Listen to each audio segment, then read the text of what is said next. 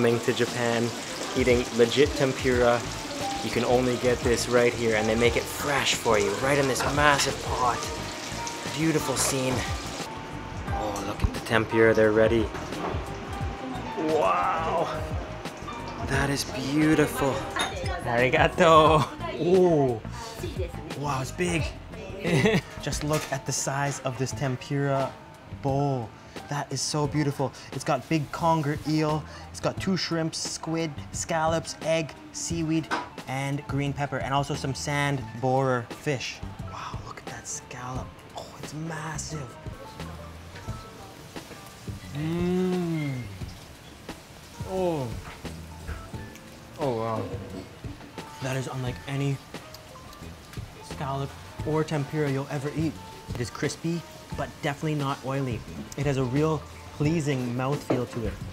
And it is so satisfying to watch them being made. And it's so plump and soft, that scallop. That scallop is just so soft. Mmm. Mmm. That is insane. It's all about that batter. Mmm. Mmm. And then we've also got this clam soup. But honestly, that tempura is worth flying here for. Mmm. Mmm. Oh, nice. Nice.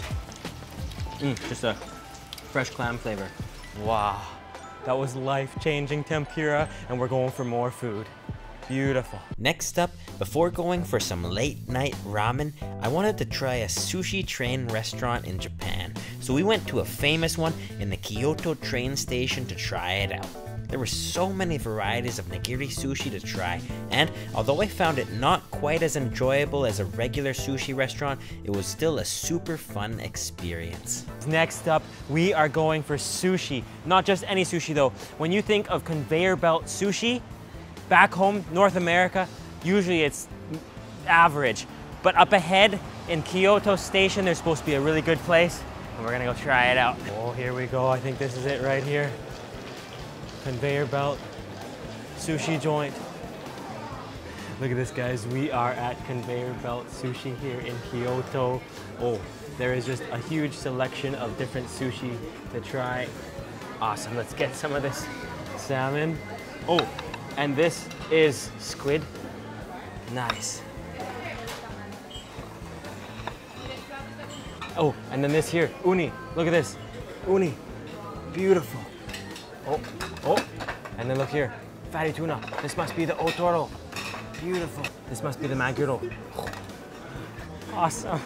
We are gonna have a feast. Oh, amberjack, you just can't stop.